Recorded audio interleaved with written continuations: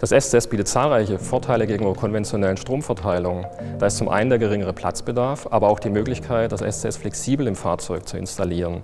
Zusätzlich bieten wir erweiterte Diagnosefähigkeiten, das heißt, wir bieten Strommessung, wir bieten Spannungsmessung, aber auch Temperaturmessung.